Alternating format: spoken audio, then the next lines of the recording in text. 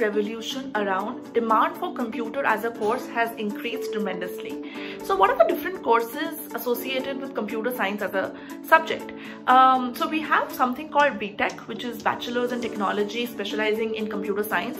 We have something called BSc in computer science and we have something called BCA, which is Bachelor in Computer Application. Now let us understand what is the difference between these three courses let's start with understanding the curriculum of these three uh, courses. Um, BTech, which is an engineering degree, is a professional course uh, which gives you understanding about the hardware, um, the software, uh, con basic concepts as well as the application of computer science as a course. So you will be studying about the different physical elements of computer as well as the software element of that. Um, having um, BSc as a course, um, it gives you a strong academic foundation.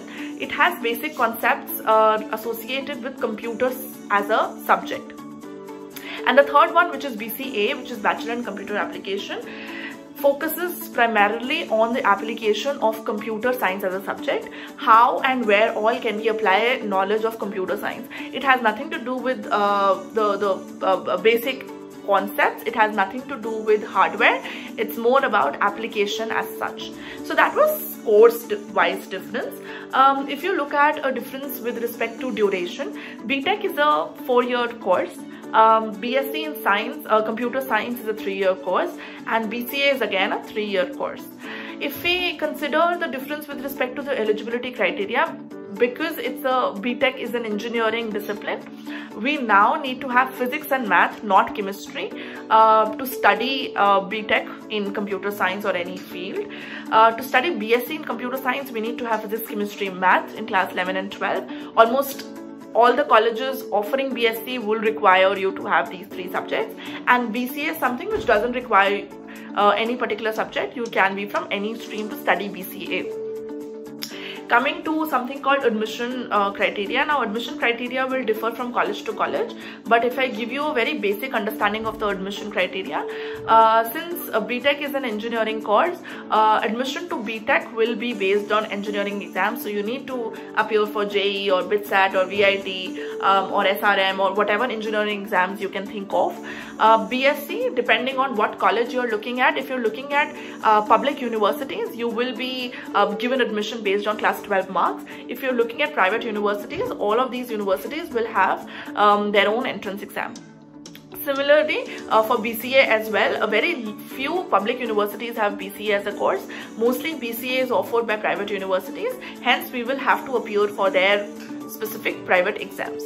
Um, coming to something which is called um, scope or rather what after this particular course if you're looking at BTech, because it's a professional course teaching you concepts, application, hardware, software, it usually doesn't require you to do a master's. Even if you want to do a master's, people usually end up doing um, MS or end up doing a management degree maybe a few years down the line after they've gained certain number of experience. Um, but for BSc uh, in computer science as well as BCA, you need to have a master's degree. You need to understand um, these subjects in detail. So it is always recommended highly recommended for you to do a master's course. Uh, you could do either msc in computer science or mca depending on what graduation you have done. Now coming to the colleges offering uh, these courses um, almost all engineering colleges will give you a btech in computer science engineering. Uh, it is one of the most sought after discipline uh, in engineering domain. Uh, colleges offering BSc in computer science, you can look at Delhi University, you can look at Fergusson College, Pune.